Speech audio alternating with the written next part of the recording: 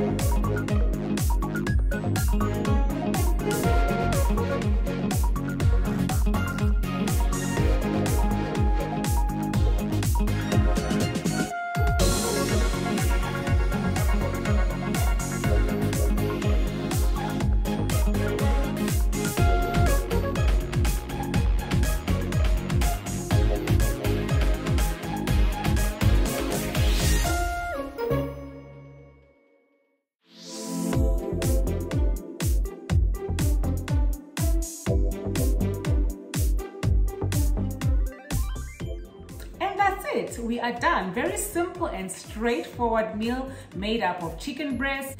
Do remember to subscribe, comment, like, and share. Well, until next time, keep inspiring.